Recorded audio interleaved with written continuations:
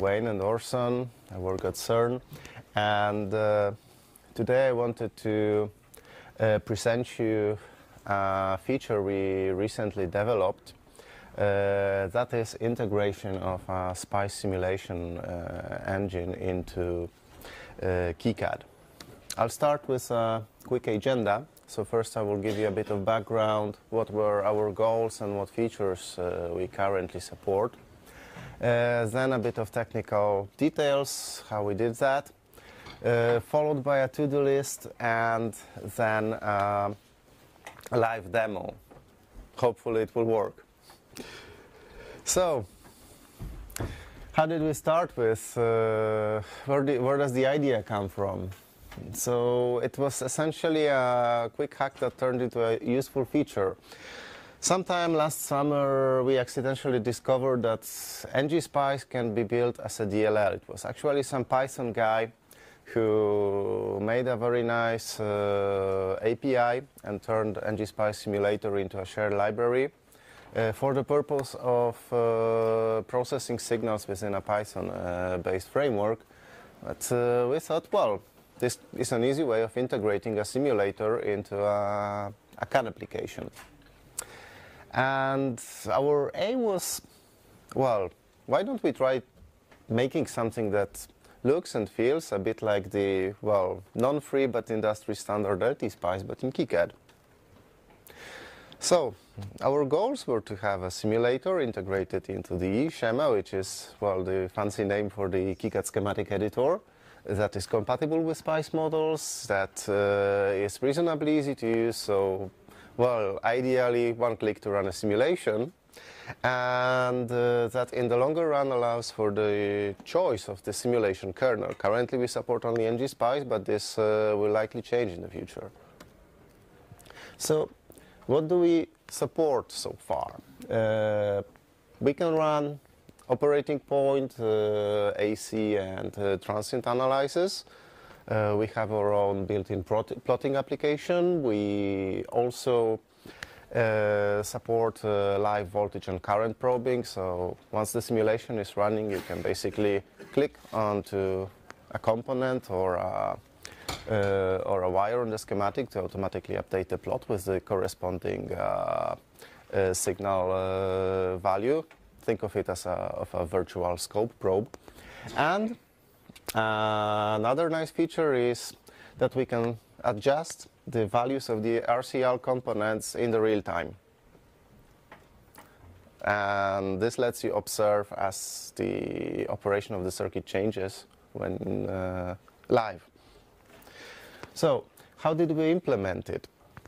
Uh, basically, the simulator is a separate uh, KiCad application that is linked together with the schematic editor. So we have uh, two editor frames, the schematic frame and uh, an associated uh, simulator that uh, frame that runs in a, in a separate window. And then they both use an abstract uh, class called uh, Spice Simulator, which provides an abstract API that is that is simulation kernel independent, provided that the simulation kernel supports a SPICE compatible netlist. Then we specialize that class for instance, here to ngSpice. And then we use libngspice.so or ngspice.dll, the dynamic library, uh, using its native API. This way we can provide as many backends as we want, right? So, what is on our to-do list? It's still an experimental feature and it lacks uh, a lot compared to Qucs, for instance. Uh, so we would like to, to, add more analysis types, for instance, transfer functions, uh, noise analysis. The plotting app is a bit quirky for the moment, so it deserves uh, a bit of user interface fixes.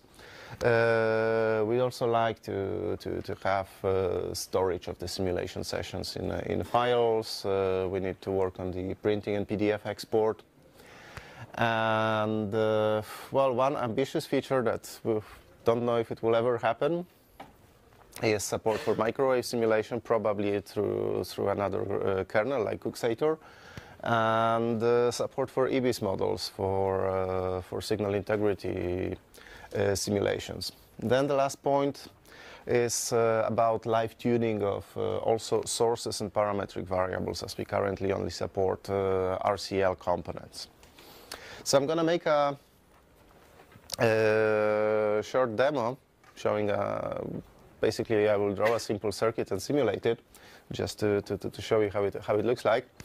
And before that, well, under, under Windows, you just need to download uh, nightly. I think the same applies to the OS X. It comes already with built-in SPICE support. Under Linux, you need libngspice installed, and most likely you need to compile from the sources. So here are the magical incantations to do that. Just remember to have libngspice installed. It's available on most distros as a package, and uh, remember to bit with the KiCad underscore spice flag enabled. Okay, so it's time for the demo.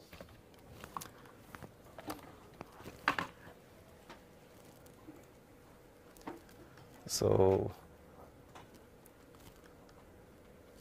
let's try designing something simple like a rectifier or something like this.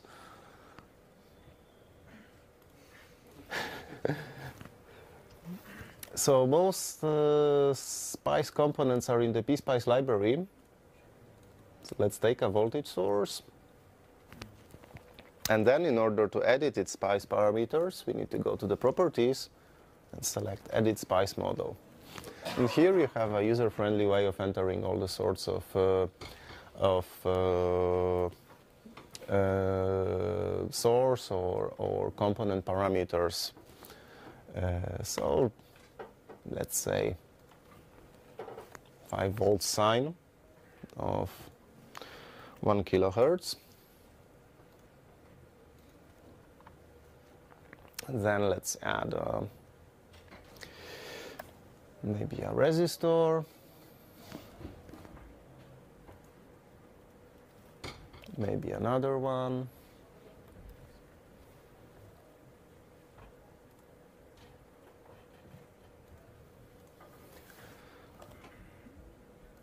A diode.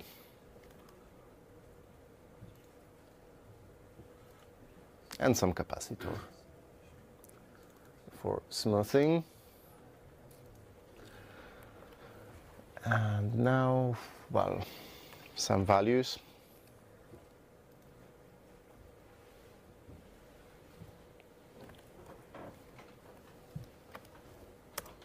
Let's keep them more or less reasonable.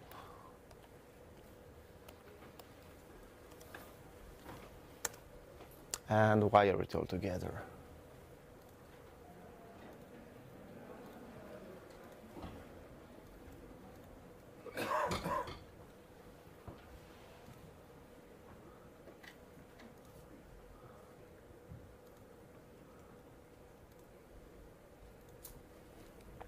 Of course, uh, we need to add a ground net because every simulator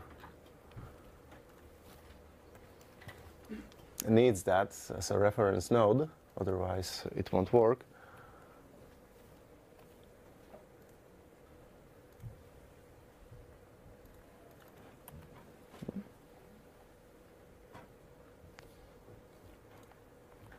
And let's annotate the schematic so that every component has a unique name.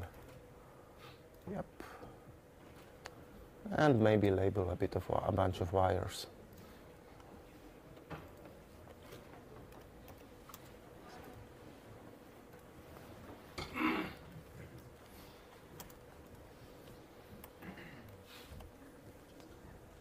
I'll save current sheet as. Okay, so now in order to launch the simulation, we have our simple circuit done. Go to Tools, Simulator. And then, well, it's easy. Run and stop simulation. Well, it reminds me that I forgot to select the analysis type and uh, duration. So yeah, we need to go to the settings, and let's write transient. So let's say 10 microseconds time step, 10 milliseconds total. Run. So no errors. So now let's observe uh, some signals in the circuit. For that we have either the add signals option, where you can uh, basically pick from all the nets available in the design, or we can use the probe tool.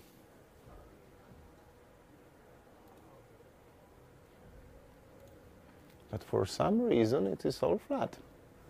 Hmm. Did I do something wrong? Did you specify V1? Hmm? Did you specify V1? Yeah, I think so. Mm, it's spice model, transient sinusoidal. Strange. Maybe I forgot to save it, so it defaulted to zero. Okay, now it should work. So yeah, let's restart the simulation. Voila. but the ugly thing is that I connected the diode uh, with this polarity, but there is something wrong. The plot is upside down, right? It's in the negative half. So you know there was a common problem with KiCad libraries uh, when the transition was done before one between one version of library and the other, and this changed the node mapping. So fear not, in the Spice model editor we provided uh, the means for uh, for for overcoming such uh, such problems and also for adapting your symbols to Spice models which might have arbitrary uh, terminal sequence. So here we can invert this. And this applies to all the components. So now it's as it should be. uh, what else? So uh, I mentioned that we have live tuning of the component values, so let me show you how it works. So we can pick the screwdriver tool here and then let's say we want to see how the operation of the circuit changes as we change the capacitor value. So a slider appeared here. Let's increase the range a bit to like something like this. So as we increase the capacitance, the signal becomes flatter. Yeah, so this is not only a uh, well, a nice feature, but also something that can be used in education to, by the teachers to, to, to show people how, uh, how the operation of the circuit changes as they mess around with the components, all in a simulation. Uh, let me show you another circuit just uh, quickly.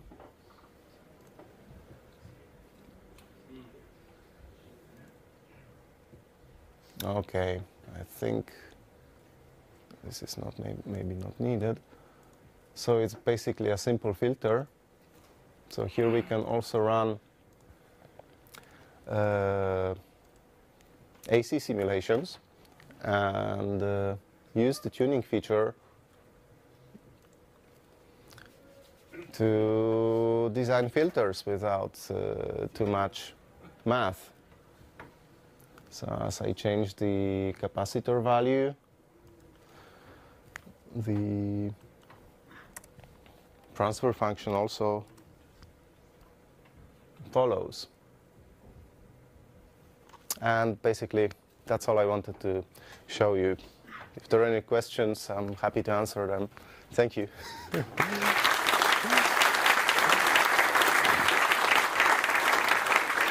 still have, you still have time to show the, uh, how you got the model for that op-amp. Oh, yeah. So, uh, where is it? I forgot to, to mention one important thing. So this is a, a macro. This uses a macro model of an op amp, and it's quite easy to select. So to assign. So you need to edit the Spice model, go to the integrated circuit tab, select a file, with the corresponding IC, and then in this uh, drop-down box, uh, all the models that, in the, are, that are in that file will appear. And you just select it. Spice model from. Yeah, standard SPICE model. In this case, it comes from analog devices. Right? Any questions? Questions? Can you still add the spice directive straight into the schematics? Uh, so the question was if I can add the SPICE directive straight to the schematics. Yes, uh, we can. In fact, uh, we even have one here. Uh, another question as well about that is that can you export the spice netlist for, for archiving? Uh, yep, you can export a SPICE netlist from KiCad. Uh, so it's tools, generate netlist file, and here. So you can use it with uh, any external simulator. Uh, what frequencies can you put? Can you, for example, put in a white noise as the input and measure the frequency? I didn't try, but uh, whatever. Uh, so the question was if I can put white noise as the input and see the frequency response. So uh, you can do whatever the ngSpice provides. I never tried this in particular, but yep. At the implementation level, are you generating a SPICE netlist and feeding that to the simulator core as text, or are you driving the simulator with feeding it, feeding it a sort of direct, direct uh, netlist? So the question is if we are generating a text netlist and passing it to the simulator, if we are doing it in a, let's say, more binary way. So we just use text. The data is extracted uh, basically as tables in the memory, but uh, uh, netlist is parsed the normal way and passed to the simulator. Uh. There's an interface for an library that allows you to uh, issue the whole netlist can you repeat that? you- did a Python interface over the ngSpice library, and then you're using the Python interface, isn't it? Uh, no, no, we don't use Python yet. Oh, okay. Okay, let me repeat. So, Orson, the co-author of the simulator uh, feature, uh, said that uh, we are not using files for uh, for passing the netlists. Instead, uh, the API provided by ngSpice basically inputs a netlist as a string, as a big string, and uh, that's it. So there is no intermediate files. And now there was another question. If you did a Python uh, in, uh, wrapper over the ngSpice. Whether we did a Python uh, wrapper over ngSpice? No, we did not. It's pure C++. More questions? Yep. Uh, when you tune a component, does the program have to rerun the entire simulation? Uh, for example, if you have a very complicated circuit, do you have to expect to uh, rerun the circuit every time you, you tweak a value? So the question is uh, if we do have to rerun the entire simulation in order to tweak a value. Uh, it depends how ngSpice handles it because uh, uh, when you change the component value, I don't think it reruns the entire simulation uh, setup completely. It just reruns the transient part, or okay, so somebody says yes, it does. But well, computers are fast these days, and for uh, for uh, AC analysis or relatively simple circuits, it works quite in real time. More questions? One back here. Attila? Yes? Um, are there any plans to annotate the schematic symbols with the SPICE model so that you just put your schematic together and it's like, okay, I let me simulate that and I don't have to specify any SPICE stuff anymore, just add sources and have my output? Uh, so the question is if there are any plans to annotate schematic symbols with the SPICE models. I wish there were, but I don't think there, there, there are any such plans for the moment. This heavily depends on, uh, on the library managers. Wayne, would you like to add something? Uh, just on the, the that to- topic, it kind of falls in the same scope as the classic atomic symbol, where we have a fully defined part number, and you know, if we if people provide them, then we would maybe we would have them to our libraries. But I don't think that's something because uh, you know there's thousands of op amps. We have a common op amp symbol, so it's you're going to have to go find the uh, spice model and then you know add that. We you know, we, we, it would be outside of the scope of the, you know, our normal libraries. Yep. You know, you know, otherwise now we have to say, this, this symbol is an eighty, whatever, and, you know, this op amp from analog devices. You repeat You know, every we have to match up with that spice model. It would just be, it would be prohibitively, Yep. uh, expensive for us to do that timeline. Yeah, so in short, people have their own uh, library standards. Every company, every designer uses, uh, calls their components in a slightly different way. So there is no uh, gold-plated solution to, to, to have, uh, you know, like a single simulation library that will uh, match everybody's uh, requirements. More questions? Yes? Yep. Um, so is it possible, based on the schematic, to run the simulation in the command line? So on a headless system, where you can just take the schematic and whatever parts of ngSpice code you have separately, and then run it entirely on a headless system? Uh, the question was if it's possible to run the simulation from a command line on a headless system. Uh, well, you can always export a Spice netlist and run ngSpice from the command line. Yeah, but then you first have to open it in KiCad, which is not able to run inside on a headless system. Uh, KiCad is a graphical application. How do you handle communication between the schema, scheme software and the, the spice window? Because like you have uh, the, the back and forth when you probe the circuit, like it, it switches automatically between the, uh, the schematic and the simulation. So the Do you have, question, like a communication protocol or inter-process communication? uh, so the question uh, was how do we communicate between the, between the simulator window and the schematic editor window? Whether we have some uh, IPC protocol. Uh, there is no protocol because they both run.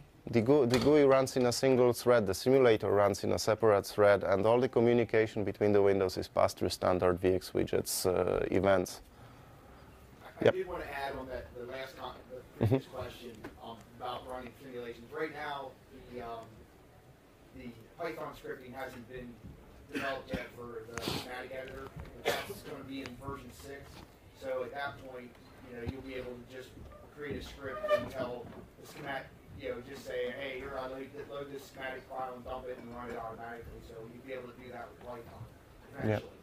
But, yeah, yeah, the board, do all, everything with the board file now, but the schematic editor still, we haven't implemented the Python scripting in that, we haven't sweetened that out yet, so it's, but it's coming. Okay, so Wayne just mentioned that in the version 6 we will also have Python scripting support for the schematics, so this will allow any sort of uh, uh, processing of the schematics to be done with, from within a Python script, including per, perhaps uh, simulation. Any questions? Okay, so Tom again.